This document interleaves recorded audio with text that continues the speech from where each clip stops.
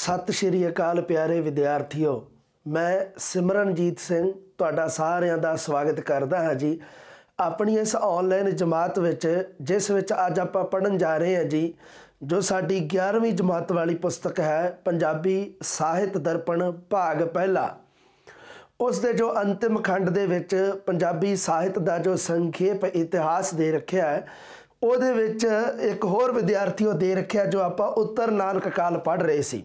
ਉੱਤਰ ਨਾਨਕ ਕਾਲ ਤੋਂ ਭਾਵ ਹੈ 1701 ਤੋਂ ਲੈ ਕੇ ਜਿਹੜਾ 1800 ਈਸਵੀ ਤੱਕ ਦਾ ਸਮਾਂ ਹੈ ਉਸ ਨੂੰ ਕਿਹਾ ਜਾਂਦਾ ਉੱਤਰ ਨਾਨਕ ਕਾਲ। ਇਸ ਉੱਤਰ ਨਾਨਕ ਕਾਲ ਦੇ ਸਮੇਂ ਜਿਹੜਾ ਵਾਰਤਕ ਸਾਹਿਤ ਰਚਿਆ ਗਿਆ ਹੈ, ਜਿਹੜਾ ਉਹਦੇ ਬਾਰੇ ਆਪਾਂ ਵਿਚਾਰ ਚਰਚਾ ਕਰਨੀ ਹੈ। ਜੇ ਆਪਾਂ ਗੱਲ ਕਰੀਏ ਵੀ ਉੱਤਰ ਨਾਨਕ ਕਾਲ ਦੇ ਵਿੱਚ ਜਿਹੜਾ ਵਾਰਤਕ ਸਾਹਿਤ ਰਚਿਆ ਗਿਆ, ਉਹਦੇ ਵਿੱਚ ਕਿਹੜੇ-ਕਿਹੜੇ ਵਾਰਤਕ ਨਮੂਨੇ, ਜਿਵੇਂ ਇੱਕ ਤਾਂ ਜਨਮ ਸਾਖੀਆਂ ਜਿਵੇਂ ਰਚੀਆਂ ਗਈਆਂ ਜਨਮ ਸਾਖੀਆਂ ਹੋ ਗਈਆਂ, ਉਸ ਤੋਂ ਬਾਅਦ ਸਾਖੀਆਂ ਤੇ ਪਰਚੀਆਂ ਇਹ ਹੋ ਗਈਆਂ। ਤੇ ਜਿਵੇਂ ਪਰਚੀ ਭਾਈ ਕਨਈਆ ਜੀ ਵਾਲੀ, ਪਰਚੀ ਪਾਤਸ਼ਾਹੀ ਦਸਵੀਂ ਕੀ 100 ਸਾਖੀ, ਇਹ ਇਹ ਜਿਹੜੀਆਂ ਬਹੁਤ ਜ਼ਰੂਰੀ ਹੈ, ਸਾਖੀਆਂ ਭਾਈ ਅੱਡਣ ਸ਼ਾਹ ਜੀ ਦੀਆਂ। ਇਸ ਤੋਂ ਇਲਾਵਾ ਜਿਹੜੇ ਟੀਕੇ ਰਚੇ ਗਏ ਆ, ਜਿਹੜੇ ਇਹ ਵੀ ਵੇਖਾਂਗੇ ਆਪਾਂ ਵੀ ਕੀ ਹੈ ਇਹ, ਉਥਾਨਕਾ ਰਹਿਤਨਾਮੇ, ਜਿਹੜੇ ਰਚੇ ਗਏ ਨੇ। ਉਸ ਤੋਂ ਬਾਅਦ ਹੁਕਮਨਾਮੇ, ਇਹ ਸਾਰਾ ਵਾਰਤਕ ਸਾਹਿਤ ਹੈ ਤੇ ਕੁਝ ਅਨੁਵਾਦਿਤ ਰਚਨਾਵਾਂ ਵੀ ਰਚੀਆਂ ਗਈਆਂ ਨੇ। ਸੋ ਇਹ ਆਪਾਂ ਦੇਖਣਾ ਹੈ ਅੱਜ ਵਿਦਿਆਰਥੀਓ, ਇਸ ਪਾਠ ਦੇ ਵਿੱਚ ਵੀ ਕਿਹੜਾ ਕਿਹੜਾ ਵਾਰਤਕ ਸਾਹਿਤ ਹੈ ਜਿਹੜਾ ਉੱਤਰ ਨਾਨਕ ਕਾਲ ਦੇ ਵਿੱਚ ਰਚਿਆ ਗਿਆ ਹੈ। ਉੱਤਰ ਨਾਨਕ ਕਾਲ ਦੇ ਵਿੱਚ ਕਿਹੜਾ ਕਿਹੜਾ ਵਾਰਤਕ ਸਭ ਤੋਂ ਪਹਿਲਾਂ ਗੱਲ ਕਰਦੇ ਆ ਜਨਮ ਸਾਖੀਆਂ ਦੀ। ਇਸ ਕਾਲ ਦੇ ਵਿੱਚ ਜਨਮ ਸਾਖੀ ਹੈ ਜਿਹੜੀ ਸਭ ਤੋਂ ਮਹੱਤਵਪੂਰਨ ਜਿਹੜੀਆਂ ਜਨਮ ਸਾਖੀਆਂ ਰਚੀਆਂ ਗਈਆਂ। ਜਨਮ ਸਾਖੀ ਕਿਸੇ ਦੇ ਜੀਵਨ ਨੂੰ ਲੈ ਕੇ ਜਨਮ ਦੇ ਨਾਲ ਸੰਬੰਧਿਤ ਸਾਖੀ ਸਾਖੀ ਹੁੰਦਾ ਹੈ ਕਹਾਣੀ ਇੱਕ ਤਰ੍ਹਾਂ ਦੀ। ਪ੍ਰਮੁੱਖ ਜਿਹੜੀ ਰਚਨਾ ਰਹੀ ਹੈ, ਇਸ ਕਾਲ ਦੇ ਵਿੱਚ, ਉੱਤਰ ਨਾਨਕ ਕਾਲ ਦੇ ਵਿੱਚ ਸਾਖੀ ਹੈ ਜਿਹੜੀ, ਉਹ ਹੈਗੀ ਆ ਭਾਈ ਮਨੀ ਸਿੰਘ ਵਾਲੀ ਜਨਮ ਸਾਖੀ। ਬਹੁਤ ਮਹੱਤਵਪੂਰਨ ਹੈ। ਇਹ ਸਾਖੀ ਗੁਰੂ ਨਾਨਕ ਦੇਵ ਜੀ ਦੇ ਜੀਵਨ ਨਾਲ ਸੰਬੰਧਿਤ ਹੈ। ਲਓ, ਜਨਮ ਸਾਖੀਆਂ ਦੇ ਬਾਰੇ ਜਦੋਂ ਤੁਸੀਂ ਲਿਖਣਾ ਹੈ, ਪਹਿਲੀ ਸਾਖੀ ਦਾ ਤੁਸੀਂ ਨਾਮ ਲਿਖ ਲੈਣਾ ਭਾਈ ਮਨੀ ਸਿੰਘ ਵਾਲੀ ਜਨਮ ਸਾਖੀ। ਇਹਦਾ ਨਾਮ ਲਿਖ ਕੇ ਤੁਸੀਂ ਕੀ ਲਿਖਣਾ ਉਸ ਤੋਂ ਬਾਅਦ? ਕਿ ਗੁਰੂ ਨਾਨਕ ਦੇਵ ਜੀ ਦੇ ਜੀਵਨ ਨਾਲ ਸੰਬੰਧਿਤ ਹੈ। ਉਸ ਤੋਂ ਹੋਰ ਅੱਗੇ ਅੱਗੇ ਵੀ ਦੇ ਰੱਖਿਆ ਵੀ ਕੀ ਹੈ ਇਹਦੇ ਵਿੱਚ। ਇਹ ਜਿਹੜੀ ਸਾਖੀ, ਇਹ ਭਾਈ ਗੁਰਦਾਸ ਜੀ ਦੀ ਜਿਹੜੀ ਪਹਿਲੀ ਵਾਰ ਹੈ। ਹੈਗੇ ਨਾ ਪ੍ਰਸਿੱਧ ਵਾਰ ਕਵੀ ਭਾਈ ਗੁਰਦਾਸ ਜੀ, ਉਹਨਾਂ ਦੀ ਪਹਿਲੀ ਵਾਰ ਦੀ ਕਥਾ ਵਾਰਤਾ ਦੇ ਭਾਈ ਮਨੀ ਸਿੰਘ ਦੁਆਰਾ ਕੀਤੇ ਗਏ ਟੀਕੇ ਨੂੰ ਸੁਣੇ ਸੁਣਾਏ ਰੂਪ ਵਿੱਚ ਭਾਈ ਸੂਰਤ ਸਿੰਘ ਚਨਿਓਟ ਨੇ ਲਿਖਤੀ ਰੂਪ ਪ੍ਰਦਾਨ ਕੀਤਾ ਹੈ। ਬਸ ਇਹ ਹੈ, ਇਹ ਸਾਖੀ ਹੈ ਨਾ ਜਿਹੜੀ ਅਸਲ ਦੇ ਵਿੱਚ ਕੀ ਹੈ ਵੀ ਇਹ ਭਾਈ ਮਨੀ ਸਿੰਘ ਵਾਲੀ ਜਿਹੜੀ ਜਨਮ ਸਾਖੀ ਹੈ, ਇਹ ਭਾਈ ਗੁਰਦਾਸ ਜੀ ਦੀ ਪਹਿਲੀ ਵਾਰ ਦੇ ਉੱਪਰ ਆਧਾਰਿਤ ਹੈ। ਭਾਈ ਮਨੀ ਸਿੰਘ ਜੀ ਨੇ ਭਾਈ ਗੁਰਦਾਸ ਜੀ ਦੀ ਜਿਹੜੀ ਪਹਿਲੀ ਵਾਰ ਹੈ, ਉਸ ਦੀ ਵਿਆਖਿਆ ਕੀਤੀ, ਉਸ ਦੇ ਅਰਥ ਕੀਤੇ, ਉਸ ਦਾ ਟੀਕਾ ਕੀਤਾ, ਉਸ ਨੂੰ ਸੁਣ ਕੇ ਕਿਨੇ ਜੀ ਭਾਈ ਸੂਰਤ ਸਿੰਘ ਚਨਿਓਟ ਨੇ ਸੁਣੇ ਸੁਣਾਏ ਰੂਪ ਵਿੱਚ ਉਸ ਨੂੰ ਲਿਖਤੀ ਰੂਪ ਦਿੱਤਾ ਤੇ ਲਿਖਤੀ ਰੂਪ ਦੇ ਵਿੱਚ ਆਪਣੇ ਸਾਹਮਣੇ ਫਿਰ ਕੀ ਆਇਆ? ਉਹਦਾ ਨਾਮ ਕੀ ਰੱਖਿਆ? ਭਾਈ ਮਨੀ ਸਿੰਘ ਵਾਲੀ ਜਨਮ ਸਾਖੀ। ਡਾਕਟਰ ਤਰਲੋਚਨ ਸਿੰਘ ਬੇਦੀ ਦੇ ਅਨੁਸਾਰ ਕਹਿੰਦੇ ਵੀ 18ਵੀਂ ਸਦੀ ਦੀ ਇੱਕ ਮਹੱਤਵਪੂਰਨ ਰਚਨਾ ਹੈ। ਭਾਈ ਗੁਰਦਾਸ ਜੀ ਦੀ ਜਿਹੜੀ ਪਹਿਲੀ ਵਾਰ ਹੈ, ਉਹਨੂੰ ਗਿਆਨ ਰਤਨਾਵਲੀ ਕਿਹਾ ਜਾਂਦਾ ਹੈ। ਇਸੇ ਲਈ ਇਸ ਜਨਮ ਸਾਖੀ ਨੂੰ ਵੀ ਗਿਆਨ ਰਤਨਾਵਲੀ ਕਿਹਾ ਜਾਂਦਾ ਹੈ, ਕਿਉਂਕਿ ਇਹ ਜਿਹੜੀ ਭਾਈ ਮਨੀ ਸਿੰਘ ਵਾਲੀ ਜਨਮ ਸਾਖੀ ਜਿਹੜੀ ਉਹਨਾਂ ਉਹਨਾਂ ਦੇ ਦੁਆਰਾ ਜਿਹੜੀ ਬੋਲੀ ਗਈ, ਉਹਨਾਂ ਦੇ ਬੋਲ ਬੋਲ, ਬੋਲਾਂ ਨੂੰ ਲਿਖਤੀ ਰੂਪ ਦਿੱਤਾ ਗਿਆ ਤੇ ਇਸ ਜਨਮ ਸਾਖੀ ਨੂੰ ਗਿਆਨ ਰਤਨਾਵਲੀ ਵੀ ਕਿਹਾ ਜਾਂਦਾ। ਦੋ ਨਾਮ ਹੈ ਇਹਦੇ। ਤੁਸੀਂ ਦੋਨੇ ਯਾਦ ਰੱਖਣੇ ਆ। ਇੱਕ ਹੈਗੀ ਹੈ ਵੀ ਇੱਕ ਦਾ ਨਾਮ ਹੈ ਭਾਈ ਮਨੀ ਸਿੰਘ ਵਾਲੀ ਜਨਮ ਸਾਖੀ, ਇੱਕ ਇਹਦਾ ਨਾਮ ਹੈ ਦੂਜਾ ਨਾਮ ਇਹਦਾ ਗਿਆਨ ਰਤਨਾਵਲੀ ਹੈ। ਕਿਉਂ? ਕਿਉਂਕਿ ਇਹ ਜਿਹੜੀ ਜਨਮ ਸਾਖੀ ਲਿਖੀ ਹੈ, ਇਹ ਭਾਈ ਗੁਰਦਾਸ ਜੀ ਦੀ ਪਹਿਲੀ ਵਾਰ ਦੇ ਉੱਪਰ ਆਧਾਰਿਤ ਹੈ। ਪਹਿਲੀ ਵਾਰ ਹੈ ਜਿਹੜੀ ਭਾਈ ਗੁਰਦਾਸ ਜੀ ਦੀ, ਇਹ ਗੁਰੂ ਨਾਨਕ ਦੇਵ ਜੀ ਦੇ ਜੀਵਨ ਸੰਬੰਧੀ ਹੈ ਵਾਰ। ਇਹਨੂੰ ਪਹਿਲੀ ਵਾਰ ਨੂੰ ਕਿਹਾ ਜਾਂਦਾ ਗਿਆਨ ਰਤਨਾਵਲੀ। ਇਸ ਕਰਕੇ ਭਾਈ ਮਨੀ ਸਿੰਘ ਵਾਲੀ ਜਿਹੜੀ ਜਨਮ ਸਾਖੀ ਹੈ ਉਸ ਨੂੰ ਵੀ ਗਿਆਨ ਰਤਨਾਵਲੀ ਕਿਹਾ ਜਾਂਦਾ ਯਾਦ ਰੱਖੋਗੇ ਨਾ, ਇਹ ਰੂਪ ਰੇਖਾ ਬਣਾ ਲਿਓ ਆਪਣੇ ਦਿਮਾਗ ਦੇ ਵਿੱਚ। ਹਾਂ, ਜਿਵੇਂ ਲਿਖਿਆ ਵੀ ਭਾਈ ਗੁਰਦਾਸ ਜੀ ਦੀ ਪਹਿਲੀ ਵਾਰ ਵਿੱਚ ਗੁਰੂ ਨਾਨਕ ਦੇਵ ਜੀ ਦੇ ਜੀਵਨ ਸੰਬੰਧੀ ਸੂਚਨਾਵਾਂ ਮਿਲਦੀਆਂ। ਇਸੇ ਕਰਕੇ ਹੀ ਇਹਦਾ ਨਾਮ ਗਿਆਨ ਰਤਨਾਵਲੀ ਹੈ। ਭਾਈ ਗੁਰਦਾਸ ਜੀ ਦੀ ਪਹਿਲੀ ਵਾਰ ਦਾ ਤੇ ਉਸੇ ਦੇ ਆਧਾਰ ਤੇ ਹੀ ਭਾਈ ਮਨੀ ਸਿੰਘ ਵਾਲੀ ਜਨਮ ਸਾਖੀ ਨੂੰ ਵੀ ਗਿਆਨ ਰਤਨਾਵਲੀ ਕਿਹਾ ਜਾਂਦਾ ਹੈ। ਇਹਦੇ ਵਿੱਚ ਕਿੰਨਾ ਕੁਛ ਹੈ ਦੇਖੋ। 225 ਦੇ ਕਰੀਬ ਪ੍ਰਸੰਗ ਹੈ। ਮਤਲਬ 225 ਦੇ ਕਰੀਬ ਸਾਖੀਆਂ ਦਿੱਤੀਆਂ ਹੋਈਆਂ। ਤਾਂ ਇਹਦੇ ਵਿੱਚ ਸੱਤ ਸਾਖੀਆਂ ਗੁਰੂ ਨਾਨਕ ਦੇਵ ਜੀ ਤੋਂ ਬਾਅਦ ਹੋਏ ਗੁਰੂਆਂ ਦੇ ਨਾਲ ਸੰਬੰਧਿਤ ਹੈ। 225 ਦੇ ਕਰੀਬ ਸਾਖੀਆਂ, ਜਿਨ੍ਹਾਂ ਦੇ ਵਿੱਚੋਂ ਸੱਤ ਸਾਖੀਆਂ ਜਿਹੜੀਆਂ ਉਹ ਗੁਰੂ ਨਾਨਕ ਦੇਵ ਜੀ ਤੋਂ ਬਾਅਦ ਜਿਹੜੇ ਹੋਏ ਹੈ ਗੁਰੂ, ਉਹਨਾਂ ਦੇ ਜੀਵਨ ਨਾਲ ਸੰਬੰਧਿਤ ਹੈ। ਇਹ ਸਾਖੀਆਂ ਜਿਹੜੀਆਂ ਭਾਈ ਬਾਲੇ ਵਾਲੀ ਜਨਮ ਸਿੱਖੀ ਸਾਖੀ ਦੇ ਉੱਪਰ ਆਧਾਰਿਤ ਹੈ, ਜਿਹੜੀਆਂ ਸੱਤ ਸਾਖੀਆਂ ਜਿਹੜੀਆਂ ਅੰਕਿਤ ਕੀਤੀਆਂ ਗਈਆਂ। ਉਸ ਤੋਂ ਇਲਾਵਾ ਕੋਈ ਹੋਰ ਮਤਲਬ ਇਸ ਉੱਤਰ ਨਾਨਕ ਕਾਲ ਦੇ ਵਿੱਚ ਜਨਮ ਸਾਖੀਆਂ ਸੰਬੰਧੀ ਕੋਈ ਵੱਡੀ ਰਚਨਾ, ਕੋਈ ਮਹੱਤਵਪੂਰਨ ਰਚਨਾ ਨਹੀਂ ਮਿਲਦੀਗੀ। ਬਸ ਕੁਝ ਕੁ ਰਚਨਾਵਾਂ ਮਿਲਦੀਆਂ ਜਨਮ ਸਾਖੀਆਂ ਦੀਆਂ। ਤੁਸੀਂ ਸਭ ਤੋਂ ਜਿਹੜੀ ਮਹੱਤਵਪੂਰਨ ਜਨਮ ਸਾਖੀ ਹੈ, ਜਿਹਦੇ ਬਾਰੇ ਗੱਲਾਂ ਮਹੱਤਵਪੂਰਨ ਯਾਦ ਰੱਖਣੀਆਂ ਤੁਸੀਂ, ਉਹ ਹੈਗੀ ਹੈ ਭਾਈ ਮਨੀ ਸਿੰਘ ਵਾਲੀ ਜਨਮ ਸਾਖੀ, ਜਿਹਦਾ ਦੂਜਾ ਨਾਮ ਗਿਆਨ ਰਤਨਾਵਲੀ ਹੈ। ਕੁਝ ਹੋਰ ਜਿਵੇਂ ਲਿਖੀਆਂ ਗਈਆਂ, ਜਿਵੇਂ ਆਦ ਸਾਖੀਆਂ ਬਾਬੇ ਨਾਨਕ ਦੀਆਂ ਪੁਰਾਤਨ ਜਨਮ ਸਾਖੀ ਸ੍ਰੀ ਗੁਰੂ ਨਾਨਕ ਦੇਵ ਜੀ ਦੀ ਪ੍ਰਾਚੀਨ ਜਨਮ ਸਾਖੀ ਇਹ ਮਿਲਦੀਆਂ ਹਨ। ਬਸ ਤੁਸੀਂ ਆਹ ਹੀ ਕਰਨੀ ਹੈ। ਠੀਕ ਹੈ? ਬਸ ਜਿਹੜੇ ਇਹਨਾਂ ਦੇ ਨਾਮ ਤੁਸੀਂ ਧਿਆਨ ਰੱਖਣੇ ਆ, ਜਿਹੜੀ ਮੇਨ ਆ, ਜਿਹੜੀ ਭਾਈ ਮਨੀ ਸਿੰਘ ਵਾਲੀ ਜਨਮ ਸਾਖੀ, ਉਹਦਾ ਜਿਹੜਾ ਵੇਰਵਾ, ਉਹ ਤੁਸੀਂ ਯਾਦ ਰੱਖਣਾ ਹੈ। ਹੁਣ ਆਪਾਂ ਗੱਲ ਕਰਦੇ ਆ ਸਾਖੀਆਂ ਤੇ ਪਰਚੀਆਂ ਦੀ। ਸਾਖੀਆਂ ਤੇ ਪਰਚੀਆਂ ਦੇ ਵਿੱਚੋਂ ਜਿਹੜੀ ਸਾਖੀ ਹੈ ਇੱਕ, ਸਿੱਖਾਂ ਦੀ ਭਗਤ ਮਾਲਾ। ਇਸ ਨੂੰ ਭਗਤ ਰਤਨਾਵਲੀ ਵੀ ਕਿਹਾ ਜਾਂਦਾ ਹੈ।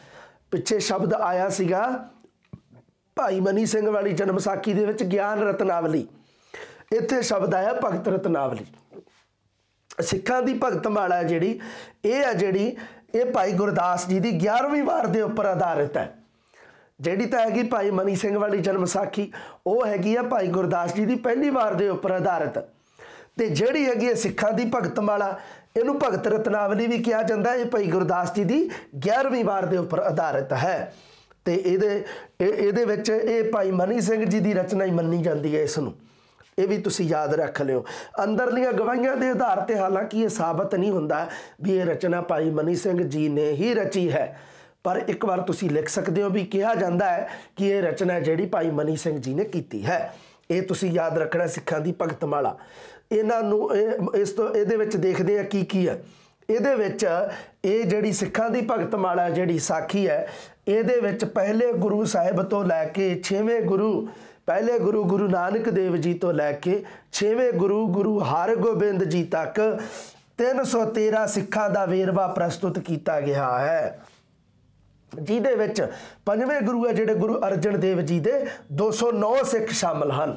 ਮਤਲਬ ਗੁਰੂ ਅਰਜਨ ਦੇਵ ਜੀ ਦੇ ਸਭ ਤੋਂ ਵੱਧ ਸਿੱਖ ਹੈ ਜਿਹੜੇ, ਉਹ ਇਸ ਜਿਹੜੀ ਸਿੱਖਾਂ ਦੀ ਭਗਤ ਮਾਲਾ ਇਹਦੇ ਵਿੱਚ ਸ਼ਾਮਲ ਹੈ। ਉਹਨਾਂ ਦੇ ਉਹਨਾਂ ਦੇ ਜੀਵਨ ਸੰਬੰਧੀ ਸਾਖੀਆਂ ਠੀਕ ਹੈ? ਇਸ ਰਚਨਾ ਦੀ ਭਾਸ਼ਾ ਜਿਹੜੀ ਗਿਆਨ ਰਤਨਾਵਲੀ ਤੋਂ ਵੱਧ ਪੰਜਾਬੀ ਪ੍ਰਧਾਨ ਹੈ। ਮਤਲਬ ਗਿਆਨ ਰਤਨਾਵਲੀ ਹੈ ਜਿਹੜੀ ਭਾਈ ਮਨੀ ਸਿੰਘ ਵਾਲੀ, ਉਹਦੀ ਭਾਸ਼ਾ ਜਿਹੜੀ ਉਹ ਘੱਟ ਪੰਜਾਬੀ ਹੈ। ਤੇ ਜਿਹੜੀ ਭਗਤ ਰਤਨਾਵਲੀ ਹੈ, ਜਿਹੜੀ ਆਹ ਸਿੱਖਾਂ ਦੀ ਭਗਤ ਮਾਲਾ ਜਿਹਦਾ ਦੂਜਾ ਨਾਮ ਭਗਤ ਰਤਨਾਵਲੀ ਵੀ ਹੈ, ਇਹਦੇ ਵਿੱਚ ਪੰਜਾਬੀ ਭਾਸ਼ਾ ਦਾ ਪ੍ਰਭਾਵ ਜ਼ਿਆਦਾ ਹੈ। ਇਹ ਵੀ ਤੁਸੀਂ ਇਹ ਵੀ ਯਾਦ ਰੱਖਣਾ ਤੁਸੀਂ। ਉਸ ਤੋਂ ਬਾਅਦ ਆਪਾਂ ਗੱਲ ਕਰਦੇ ਆਂ ਇੱਕ ਹੋਰ ਹੈ ਪਰਚੀ ਭਾਈ ਕਨਈਆ ਜੀ। ਜਦੋਂ ਆਪਾਂ ਪੜ੍ਹਦੇ ਆਂ ਸਾਖੀਆਂ ਤੇ ਪਰਚੀਆਂ, ਸਾਖੀਆਂ ਦੇ ਵਿੱਚ ਤੁਸੀਂ ਇੱਕ ਹੀ ਯਾਦ ਰੱਖਣੀ ਹੈ, ਸਿੱਖਾਂ ਦੀ ਭਗਤ ਮਾਲਾ। ਚਾਹੋ ਤਾਂ ਤੁਸੀਂ ਸਾਖੀਆਂ ਤੇ ਪਰਚੀਆਂ ਨੂੰ ਅੱਡ-ਅੱਡ ਕਰ ਸਕਦੇ ਹੋ। ਵੀ ਸਾਖੀਆਂ ਲਿਖ ਕੇ ਤੇ ਤੁਸੀਂ ਇੱਕ ਲਿਖਦੇ ਹੋ ਲਓ ਜੀ ਸਿੱਖਾਂ ਦੀ ਭਗਤ ਮਾਲਾ। ਉਸ ਤੋਂ ਬਾਅਦ ਲਿਖਦੇ ਹੋ ਪਰਚੀਆਂ। ਪਰਚੀਆਂ ਤੇ ਚੱਲਦੇ ਆ ਪਰਚੀ ਭਾਈ ਕਨਈਆ ਜੀ। ਪਰਚੀ ਤੋਂ ਭਾਵ ਵੀ ਸਾਖੀ ਹੁੰਦਾ ਹੈ ਇੱਕ ਤਰ੍ਹਾਂ ਦਾ। ਇਹ ਸ਼ਬਦ ਇੱਕ ਸਾਖੀ ਜਾਂ ਅਨੇਕ ਸਾਖੀਆਂ ਦੇ ਸੰਗ੍ਰਹਿ ਵਾਸਤੇ ਵਰਤਿਆ ਜਾਂਦਾ ਹੈ। ਉਹਦੇ ਵਾਸਤੇ ਇਹ ਪਰਚੀ ਜਿਹੜੀ ਭਾਈ ਸਹਿਜ ਰਾਮ ਦੀ ਲਿਖੀ ਹੋਈ ਹੈ। ਪਰਚੀ ਭਾਈ ਕਨਈਆ ਜੀ ਆ ਜਿਹੜੀ, ਇਹ ਭਾਈ ਸਹਿਜ ਰਾਮ ਜੀ ਦੀ ਲਿਖੀ ਹੋਈ ਹੈ। 20 ਕਾਂਡਾਂ ਦੇ ਵਿੱਚ ਲਿਖੀ ਹੋਈ ਹੈ।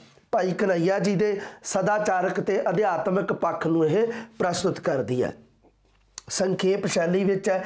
ਪੰਜਾਬੀ ਭਾਸ਼ਾ ਤੇ ਲਿਖੀ ਗਈ ਹੈ ਤੇ ਉੱਪਰ ਬ੍ਰਜ ਤੇ ਸਾਧ ਭਾਸ਼ਾ ਦਾ ਪ੍ਰਭਾਵ ਜ਼ਿਆਦਾ ਹੈ। ਇਹ ਵੀ ਤੁਸੀਂ ਯਾਦ ਰੱਖਣਾ ਪਰਚੀ ਭਾਈ ਕਨਈਆ ਜੀ ਉਸ ਤੋਂ ਬਾਅਦ ਗੱਲ ਕਰਦੇ ਹਾਂ ਪਰਚੀ ਪਾਤਸ਼ਾਹੀ ਦਸਵੀਂ ਕੀ। ਇਹ ਰਚਨਾ ਹੈ ਜਿਹੜੀ ਇਹਦੇ ਵਿੱਚ 50 ਸਾਖੀਆਂ ਹਨ।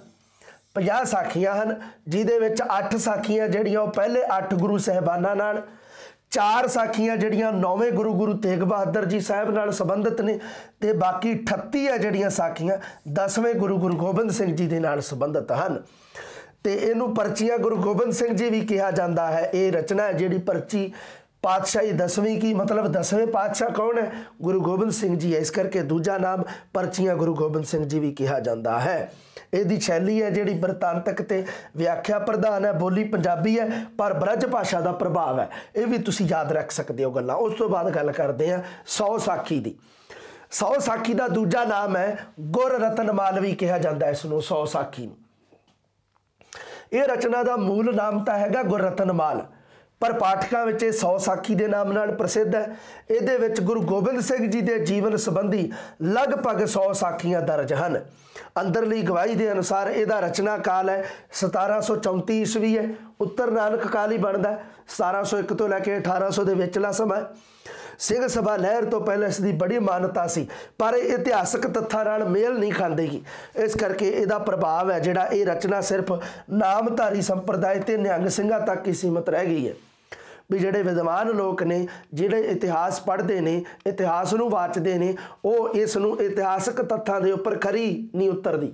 ਉਹ ਕਹਿੰਦੇ ਵੀ ਇਹ ਖਰੀ ਨਹੀਂ ਉਤਰ ਰਹੀ, ਇਤਿਹਾਸ ਦੀ ਕਾਟ ਕਰਦੀ ਹੈ ਇਹ, ਇਸ ਕਰਕੇ ਇਸ ਦਾ ਜ਼ਿਆਦਾ ਮਹੱਤਵ ਨਹੀਂ ਹੈ। ਇਹਦਾ ਲੇਖਕ ਸਾਹਿਬ ਸਿੰਘ ਨਾਮ ਦਾ ਇੱਕ ਵਿਅਕਤੀ ਮੰਨਿਆ ਜਾਂਦਾ ਹੈ, ਜਿਹਦੇ ਬਾਰੇ ਵੀ ਕੁਝ ਕਿਹਾ ਨਹੀਂ ਜਾ ਸਕਦਾ, ਵੀ ਇਸੇ ਨੇ ਲਿਖੀ ਹੈ। ਤੁਸੀਂ ਯਾਦ ਰੱਖਣਾ ਵੀ ਇਸ ਦਾ ਲੇਖਕ ਹੈ ਜਿਹੜਾ ਸਾਹਿਬ ਸਿੰਘ ਨਾਮ ਦਾ ਇੱਕ ਵਿਅਕਤੀ ਨੂੰ ਮੰਨਿਆ ਜਾਂਦਾ ਹੈ। ਉਸ ਤੋਂ ਬਾਅਦ ਗੱਲ ਕਰਦੇ ਹਾਂ ਸਾਖੀਆਂ ਭਾਈ ਅੱਡਣ ਸ਼ਾਹ ਜੀ ਦੀਆਂ। ਸਾਖੀਆਂ ਭਾਈ ਅੱਡਣ ਸ਼ਾਹ ਜੀ ਕਿਹਨੇ ਲਿਖੀ ਹੈ? ਭਾਈ ਕਨਈਆ ਜੀ ਦੁਆਰਾ ਜਿਹੜਾ ਸੇਵਾ ਪੰਥ ਚਲਾਇਆ ਗਿਆ ਸੀ, ਉਹਦੇ ਪ੍ਰਤਾਪੀ ਸੰਤ ਸੀਗੇ ਇਹ ਭਾਈ ਅੱਡਣ ਸ਼ਾਹ ਜੀ। ਭਾਈ ਅੱਡਣ ਸ਼ਾਹ ਜੀ ਜਿਹੜੇ ਭਾਈ ਕਨਈਆ ਜੀ ਵੱਲੋਂ ਜਿਹੜਾ ਸੇਵਾ ਪੰਥ ਚਲਾਇਆ ਗਿਆ ਸੀ ਤੇ ਉਹਦੇ ਪ੍ਰਤਾਪੀ ਸੰਤ ਹੋਏ ਆ ਤੇ ਉਹਨਾਂ ਦੀ ਪ੍ਰਸਿੱਧੀ ਕਾਰਨੀ ਤਾਂ ਸੇਵਾ ਪੰਥ ਦਾ ਨਾਮ ਬਾਅਦ ਦੇ ਵਿੱਚ ਅੱਡਣ ਸ਼ਾਹੀ ਸੰਪਰਦਾਇ ਵੀ ਲਿਖਿਆ ਗਿਆ। ਜਿਹਦੇ ਵਿੱਚ ਅੱਡਣ ਸ਼ਾਹ ਦੀ ਦਾ ਵਿਆਖਿਆਨ, ਬਚਨ ਬਿਲਾਸ ਉਹਨਾਂ ਦੇ, ਉਹਨਾਂ ਦੀਆਂ ਕਥਾ ਵਾਰਤਾਵਾਂ ਜਿਹੜੀਆਂ ਕਰਦੇ ਸੀਗੀਆਂ।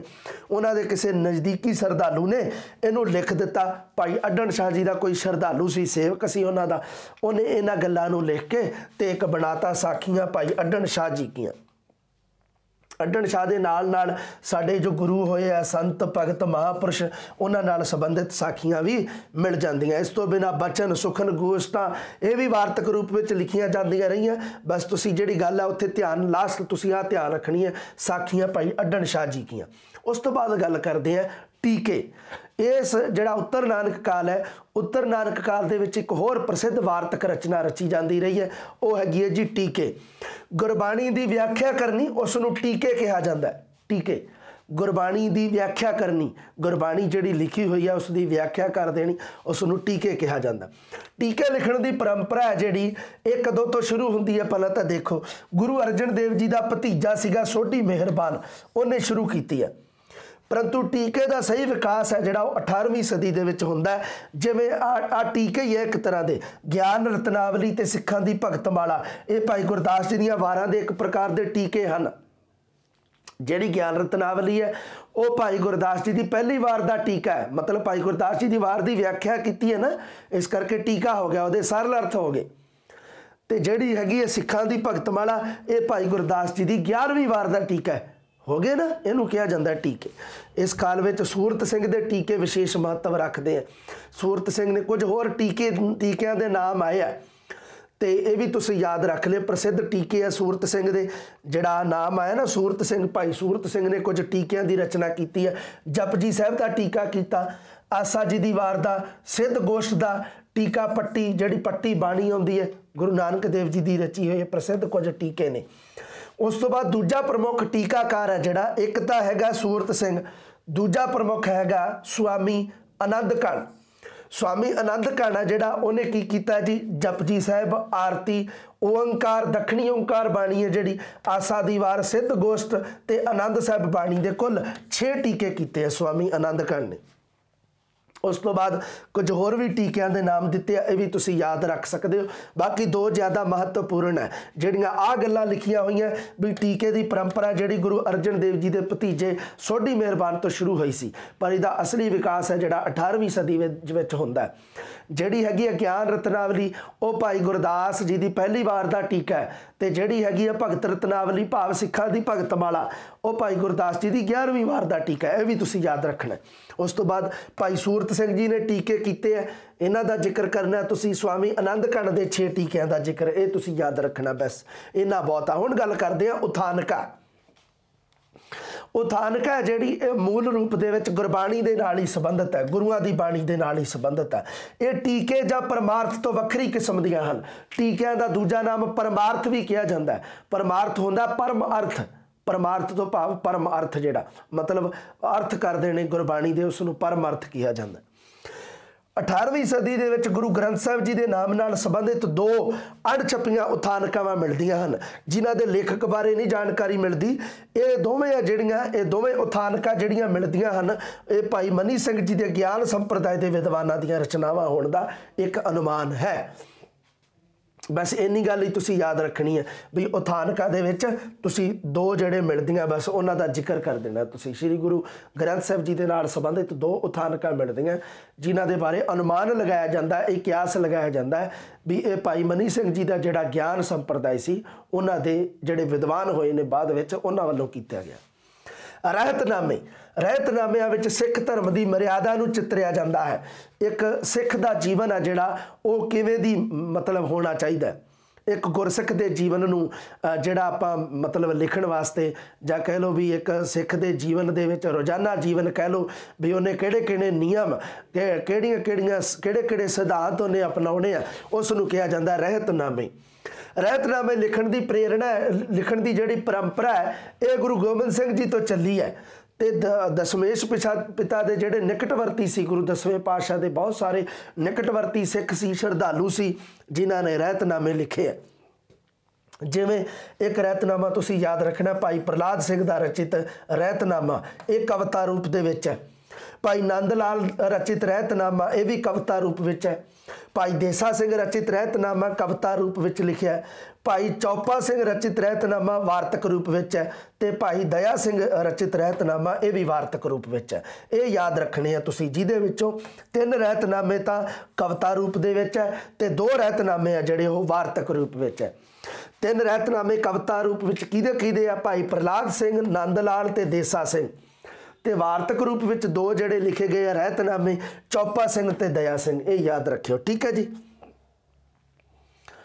ਉਸ ਤੋਂ ਬਾਅਦ ਜਿਵੇਂ ਇਹਨਾਂ ਤੋਂ ਬਿਨਾ ਪ੍ਰੇਮ ਸਮਾਰਗ ਨਾਮ ਦਾ ਗ੍ਰੰਥ ਦੇ ਵਿ- ਗ੍ਰੰਥ ਜਿਹੜਾ ਹੈਗਾ, ਪ੍ਰੇਮ ਸਮਾਰਗ ਗ੍ਰੰਥ ਨਾਂ ਦੀ ਰਹਿਤਨਾਮਿਆਂ ਦੀ ਪੁਸਤਕ ਵੀ ਮਿਲਦੀ ਹੈ ਇੱਕ। ਇਹ ਵੀ ਤੁਸੀਂ ਯਾਦ ਰੱਖ ਸਕਦੇ ਹੋ 18ਵੀਂ ਸਦੀ ਦੇ ਮੱਧ ਦੀ ਰਚਨਾ ਹੈ। ਭਾਈ ਰਣਧੀਰ ਸਿੰਘ ਇਸ ਨੂੰ ਗੁਰੂ ਗੋਬਿੰਦ ਸਿੰਘ ਜੀ ਦੁਆਰਾ ਲਿਖਾਏ ਬੁੱਧ ਵਿਵੇਕ ਰਹਿਤਨਾਮੇ ਉੱਪਰ ਆਧਾਰਿਤ ਰਚਨਾ ਮੰਨਦੇ ਹਨ। ਵੀ ਇਹ ਪ੍ਰੇਮ ਸਮਾਰਗ ਹੈ ਜਿਹੜੀ ਇਹ ਗੁਰੂ ਗੋਬਿੰਦ ਸਿੰਘ ਜੀ ਦੀ ਇੱਕ ਰਚਨਾ ਹੈ, ਜਿਹੜੀ ਬੁੱਧ ਵਿਵੇਕ ਉਹਦੇ ਉੱਪਰ ਆਧਾਰਿਤ ਹੈ। ਇਹ ਵੀ ਤੁਸੀਂ ਯਾਦ ਰੱਖ ਲਿਓ। ਤਰਲੋਚਨ ਸਿੰਘ ਬੇਦੀ ਇਸ ਨੂੰ 18ਵੀਂ ਸਦੀ ਦੇ ਅੱਧ ਦੀ ਰ- ਮੱਧ ਦੀ ਰਚਨਾ ਮੰਨਿਆ। ਲੇਖਕ ਬਾਰੇ ਜਾਣਕਾਰੀ ਨਹੀਂ ਮਿਲਦੀ ਇਹਦੇ। ਜਿਹੜਾ ਆਹ ਹੈਗਾ ਪ੍ਰੇਮ ਸਮਾਰਗ ਗ੍ਰੰਥ। ਇਹਦੇ ਬਾਰੇ ਥੋੜਾ ਜਿਹਾ ਜ਼ਿਕਰ ਤੁਸੀਂ ਯਾਦ ਰੱਖਣਾ ਪ੍ਰੇਮ ਸਮਾਰਗ ਬਾਰੇ। ਉਸ ਤੋਂ ਬਾਅਦ ਗੱਲ ਕਰਦੇ ਹਾਂ ਹੁਕਮਨਾਮਿਆਂ ਦੀ। ਹੁਕਮਨਾਮੇ ਆ ਜਿਹੜੇ ਇਸ ਕਾਲ ਦੇ ਵਿੱਚ ਵਾਰਤਕ ਰੂਪ ਦੇ ਵਿੱਚ ਵੀ ਮਿਲਦੇ ਆ। ਗੁਰੂ ਗੋਬਿੰਦ ਸਿੰਘ ਜੀ ਤੋਂ ਬਾਅਦ ਬੰਦਾ ਸਿੰਘ ਬਹਾਦਰ, ਮਾਤਾ ਗੁਜਰੀ, ਮਾਤਾ ਸੁੰਦਰੀ, ਮਾਤਾ ਸਾਹਿਬ ਦੇਵਾ ਵੱਲੋਂ ਜਾਰੀ ਕੀਤੇ ਹੁਕਮਨਾਮੇ ਪ੍ਰਾਪਤ ਹੁੰਦੇ ਹਨ। ਬਣਤਰ ਦੇ ਪੱਖ ਤੋਂ, ਬਨਾਵਟ ਦੇ ਪੱਖ ਤੋਂ ਹੁਕਮਨਾਮਿਆਂ ਦੇ ਵਿੱਚ ਪਹਿਲਾਂ ਮੰਗਲ ਸੂਚਕ ਚਿੰਨ੍ਹ ਜਿਹੜਾ ਲਿਖਿਆ ਜਾਂਦਾ ਸੀ, ਜਿਵੇਂ ਇੱਕ ਓੰਕਾਰ ਲਿਖਤਾ, ਸ਼੍ਰੀ ਸਤਗੁਰ ਪ੍ਰਸਾਦ, ਇੱਕ ਓੰਕਾਰ ਵਾਹਿਗੁਰੂ ਜੀ ਦੀ ਫਤਿਹ, ਇੱਕ ਓੰਕਾਰ ਸਤਗੁਰ ਜੀ, ਇਸ ਤਰ੍ਹਾਂ ਜਿਵੇਂ ਇੱਕ ਮੰਗਲ ਸੂਚਕ ਚਿੰਨ੍ਹ ਲਾਏ ਜਾਂਦੇ ਹੁੰਦੇ ਸੀ, ਹੁਕਮਨਾਮਾ ਜਾਰੀ ਕਰਨ ਤੋਂ ਪਹਿਲਾਂ। ਅੰਕਿਤ ਹੁੰਦੇ ਹੁੰਦੇ ਸਨ ਤੇ ਸੰਦੇਸ਼ ਲਿਖੇ ਜਾਣ ਤੋਂ ਬਾਅਦ ਗੁਰੂ ਸਾਹਿਬ ਦੇ ਨਿਸ਼ਾਨ, ਬੰਦਾ ਸਿੰਘ ਬਹਾਦਰ ਦੇ ਕੋਲ ਤਾਂ ਆਪਣੀ ਮੋਹਰ ਸੀ। ਬੰਦਾ ਸਿੰਘ ਬਹਾਦਰ ਕੋਲ। ਮਾਤਾ ਸਾਹਿਬ ਕੌਰ ਜਾਂ ਮਾਤਾ ਸੁੰਦਰੀ ਜੀ ਆਪਣੇ ਨਿਸ਼ਾਨੀ ਦੇ ਵਜੋਂ ਇੱਕ ਚਿੰਨ੍ਹ ਅੰਕਿਤ ਕਰਦੇ ਸਨ। ਇਹ ਵੀ ਤੁਸੀਂ ਥੋੜਾ ਯਾਦ ਰੱਖ ਲਿਓ ਇਹਨਾਂ ਗੱਲਾਂ ਨੂੰ ਹੁਕਮਨਾਮਿਆਂ ਨੂੰ। ਉਸ ਤੋਂ ਬਾਅਦ ਅਨੁਵਾਦਿਤ ਰਚਨਾਵਾਂ ਹੋਈਆਂ। ਕੁਝ ਕੁ ਅਨੁਵਾਦ ਕੀਤੇ ਗਏ ਆ ਦੂਜੀਆਂ ਭਾਸ਼ਾਵਾਂ ਤੋਂ ਪੰਜਾਬੀ ਦੇ ਵਿੱਚ। ਅਧਿਆਤਮਿਕ, ਸਮਾਜਿਕ, ਰਾਜਨੀਤਿਕ ਆਦਿ ਵਿਸ਼ਿਆਂ ਨਾਲ ਸੰਬੰਧਿਤ ਹੋਰ ਭਾਸ਼ਾਵਾਂ, ਜਿਵੇਂ ਫਾਰਸੀ, ਸੰਸਕ੍ਰਿਤ ਤੋਂ ਕੁਝ ਅਨੁਵਾਦ ਵੀ ਹੋਏ ਆ। ਜਿਵੇਂ ਆ ਦੇਖੋ, ਪਾਰਸ ਭਾਗ। ਇਹ ਫਾਰਸੀ ਭਾਸ਼ਾ ਤੋਂ ਅਨੁਵਾਦ ਕੀਤਾ ਗਿਆ। ਸਿੰਘਾਸਨ ਬੱਤੀ ਸੀ ਇਹ ਸੰਸਕ੍ਰਿਤ ਤੋਂ। ਵਿਵੇਕ ਸਿੰਧੂ ਇਹ ਪ੍ਰਾਕ੍ਰਿਤ ਭਾਸ਼ਾ ਤੋਂ ਪੰਜਾਬੀ ਵਿੱਚ ਅਨੁਵਾਦ। ਗਿਆਨ ਪ੍ਰਬੋਧ ਉਦੇ ਚੰਦਰ ਨਾਟਕ ਤੇ ਇਹ ਇਹ ਹੈ ਜਿਹੜਾ ਇਹ ਸੰਸਕ੍ਰਿਤ ਤੋਂ। ਭਾਗਵਤ ਮਹਾਪੁਰਾਣ ਇਹ ਸੰਸਕ੍ਰਿਤ ਤੋਂ, ਵਿਸ਼ਨੂੰ ਪੁਰਾਣ ਵੀ ਸੰਸਕ੍ਰਿਤ ਤੋਂ, ਭਗਵਤ ਗੀਤਾ ਵੀ ਸੰਸਕ੍ਰਿਤ ਤੋਂ, ਯੋਗ ਵਿਸ਼ਿਸ਼ਟ ਸੰਸਕ੍ਰਿਤ ਤੋਂ ਮਸਨਵੀ ਭਾਖਾ ਫਾਰਸੀ ਤੋਂ, ਮਾਰਕੰਡੇ ਪੁਰਾਣ ਸੰਸਕ੍ਰਿਤ ਤੋਂ ਤੇ 50 ਉਪਨਿਸ਼ਦਾਂ ਦੇ ਅਨੁਵਾਦ ਸੰਸਕ੍ਰਿਤ ਚੋਂ ਕੀਤੇ ਗਏ ਆ। ਇਹਨਾਂ ਦੇ ਵਿੱਚੋਂ ਇਹ ਇਹ ਦੇ ਰੱਖੇ ਆ 10 11 ਦੇ ਰੱਖੇ ਆ। ਇਹਦੇ ਵਿੱਚੋਂ ਕੋਈ ਪੰਜ ਤੁਸੀਂ ਯਾਦ ਰੱਖ ਲਿਓ। ਸੋ ਠੀਕ ਹੈ ਵਿਦਿਆਰਥੀਓ, ਜਿਵੇਂ ਆ ਸਿੰਘਾਸਨ ਬੱਤੀ ਸੀ, ਯਾਦ ਰੱਖ ਲਿਓ ਇੱਕ ਤੁਸੀਂ। ਇੱਕ ਆ ਪਹਿਲਾ ਪਹਿਲਾ ਪਾਰਸ ਭਾਗ ਯਾਦ ਰੱਖ ਲਿਓ। ਉਸ ਤੋਂ ਬਾਅਦ ਇੱਕ ਤੁਸੀਂ ਜਿਵੇਂ ਆ ਭਾਗਵਤ ਮਹਾਪੁਰਾਣ ਯਾਦ ਰੱਖ ਲਿਓ। ਮਾਰਕੰਡੇ ਪੁਰਾਣ ਯਾਦ ਰੱਖ ਲਿਓ। ਆ ਚਾਰ ਹੋ ਗਏ। ਇੱਕ ਭਗਵਤ ਗੀਤਾ ਯਾਦ ਰੱਖ ਲਿਓ। ਪੰਜ ਤੁਸੀਂ ਯਾਦ ਰੱਖ ਲਿਓ। ਮਤਲਬ ਜਦੋਂ ਤੁਸੀਂ ਪੇਪਰ ਦੇ ਵਿੱਚ ਜਿਵੇਂ ਪ੍ਰਸ਼ਨ ਆ ਜੇ ਕਿ ਜਿਹੜੀ ਉੱਤਰ ਨਾਨਕ ਕਾਲ ਦੇ ਵਿੱਚ ਜਿਹੜਾ ਰ- ਰਚਿਆ ਗਿਆ ਜਿਹੜਾ ਵਾਰਤਕ ਸਾਹਿਤ ਹੈ, ਉਹਦੇ ਸੰਬੰਧੀ ਇੱਕ ਨੋਟ ਲਿਖੋ ਤਾਂ ਜਿਹੜੀਆਂ ਗੱਲਾਂ ਮੈਂ ਤੁਹਾਨੂੰ ਦੱਸੀਆਂ ਵੀ ਆਹ ਗੱਲਾਂ ਬਈ ਤੁਸੀਂ ਜ਼ਰੂਰ ਯਾਦ ਰੱਖਣੀਆਂ ਵਿਦਿਆਰਥੀਓ ਹਰ ਹਾਲ ਦੇ ਵਿੱਚ। ਇਹ ਹੈ ਜਿਹੜੀਆਂ, ਇਹ ਤੁਹਾਡੇ ਵਾਸਤੇ ਜ਼ਿਆਦਾ ਜ਼ਰੂਰੀ ਹੈ। ਬਾਕੀ ਇਹ ਜਿਹੜੀਆਂ ਗੱਲਾਂ, ਉਹ ਬਹੁਤ ਮਤਲਬ ਸਧਾਰਨ ਗੱਲਾਂ ਜਿਹੜੀਆਂ, ਉਹ ਮੈਂ ਤੁਹਾਨੂੰ ਛੁਡਵਾ ਦਿੱਤੀਆਂ ਇਹਦੇ ਵਿੱਚੋਂ। ਸੋ ਪਿਆਰੇ ਵਿਦਿਆਰਥੀਓ ਇਹ ਜਿਹੜਾ ਪਾਠ ਹੈ ਇਹ ਆਪਣਾ ਸਮਾਪਤ ਹੁੰਦਾ ਜੀ। ਸਤਿ ਸ਼੍ਰੀ ਅਕਾਲ।